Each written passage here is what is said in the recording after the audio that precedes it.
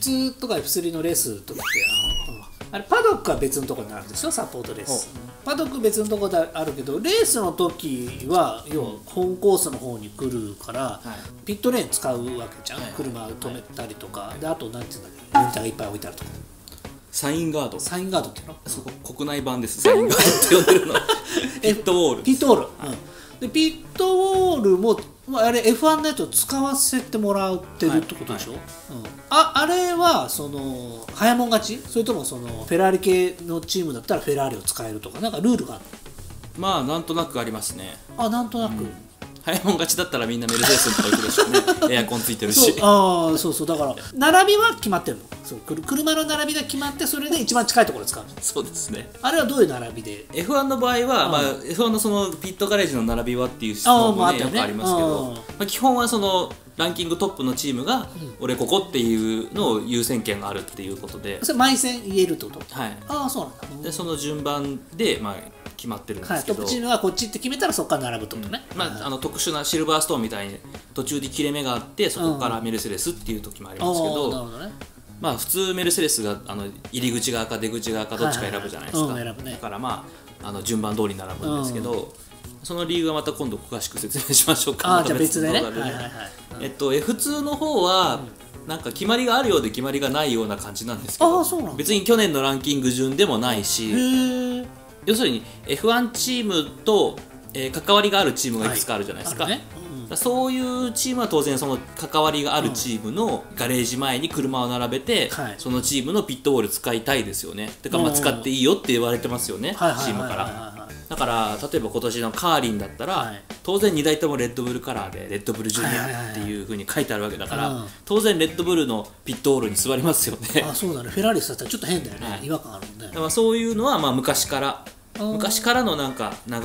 なんとなくみんなあ大人のルールみたいな感じで、うん。へえでまあそういうふうに、まあ、それぞれその F1 チームと関係があるチーム、まあ、ジュニアチーム的なところだったり、あとはまあ F1 チームと関係のあるドライバーを乗せてるチームはそこの例えば、えー今年だったら、えーウィリアムズの、えーテストドライバー、うん。オフィシャルテストドライバーである、ロイ・ニッサニー選手が乗っているトライデントはウィリアムズの前、ウィリアムズのピットウォール。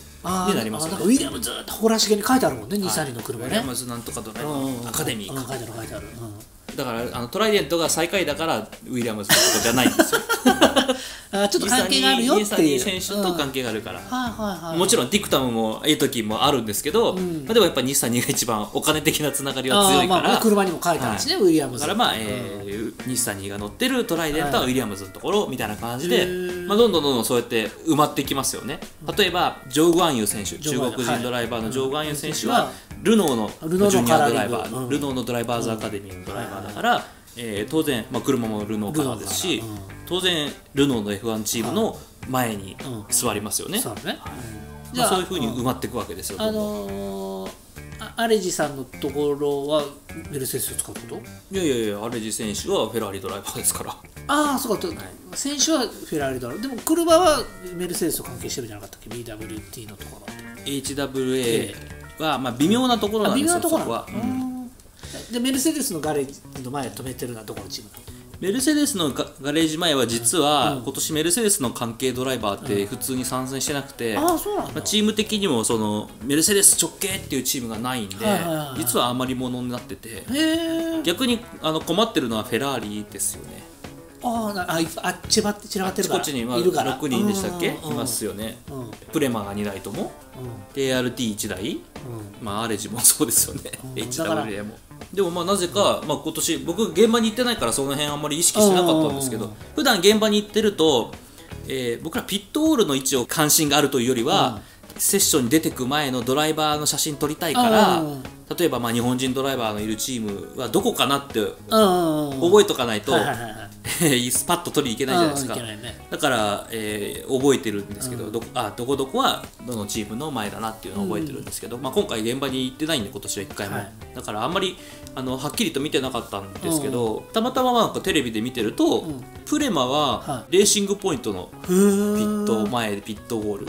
ほでアームストロングが走ってる ART がうん。アルファロメオかな？っていうなんか微妙なフェラーリのところを使うわけでもなくフェラーリ系。まああの ART はねアルファロメオだからフェラーリ系ですけど微妙な感じですね。えじゃあレジのところはハースってこういうこと？えー、っとね、HWA はアルファタオリのとこ使ってます。へえなんか今年はだからその辺がちょっとざっくり微妙な感じになってますね。あなんかソーシャルディスタンスの関係もあるのかな？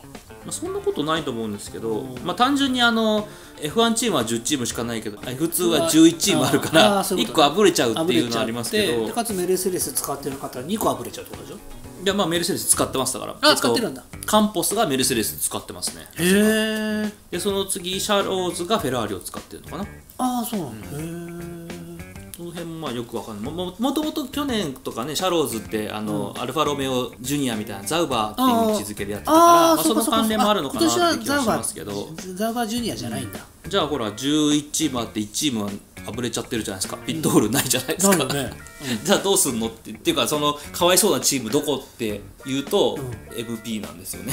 なぜか。あ MP がなぜか、えー微妙なマクラーレンと、えールノーの間っていう微妙なとこにいて、まあたまたまなんでしょうけどそのチームの、ん。えー並びうん。は一毎回変わらないけあど、うん微妙にこうガレージとピットホールの位置ってずれてるから。へえあじゃあピットホール使えるピットホールがないってこと？なんで、えっと今回のバルセロナではよく見たらルノーのピットウォールをバーチュオー氏と MP でシェアしてましたね。へえかわいそう。まあだから MP なんかもともと優勝争いに絡んでこないから別にシェアでもいいだろうみたいな感じかもしれないですよね。普通だったらねライバルチームと隣り合ってたら戦略とかバレそうで嫌じゃないですか、まあでもどうせああそこで優勝争い絡んでこねえしなみたいな。うん感じかな。うん意外に頑張っちゃってるっていうね。頑張っちゃって意外と。うんじゃあ F3 も同じような理屈で並んでるはずだまあ、ったんだね F3 の方がチーム多いですからね。ね。うん。まあ、大体まだそこは特に F3 の場合はスタートしたらあとは行ってこいで、うん。ね、チームの戦略とかも関係ないピットストップないんで、あー。あーそっかそっかそっか。だからまああの見てるだけっちゃ見てるだけですけどね。ああそういうことドライバーに対してあのちょっとエンジニアが指示するぐらいだから。はいはいはいはい去年までの方がなんかチーム F1 チームとのつながりっていうのが強かった感じはしますけどね、ああそうなんだ。へえそれこそアーデン HWA の前うん。前身アーデンですけどアーデンはレッドブルの前使ってましたよ。アーデンってあ要するにあのクリスチャン・ホーナーとクリスチャン・ホーナーのお父さんが作ったチームだから。そうだね。お金入って資本が入ってたよね。そういうところでしたけどね。ちょっとね普通だとなかなかそこのシーンはね映ってこないからね、もうグリッド並んでから始まるからね、まあまあでもちょっといろいろね気にしてみてください。はい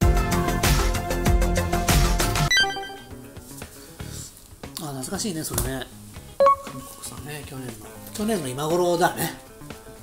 炎上上等。炎上上等。何が悪いんじゃい？炎上は別に嫌ですけど自分たちが別に正しいと思ってることをするのは別に何も。それで何言われようが別にそうだねっていう感じですけど。うん。ねあの時騒いでた人ってどどどこ行っちゃったの？じゃあお前キムチ一生食うなよっていう話ですからねまあ僕は食べないけどキムチは。まあね、そういう価値観では生きてないです。トゥワイスは可愛いと。うん。うん、そうだね。何が悪い？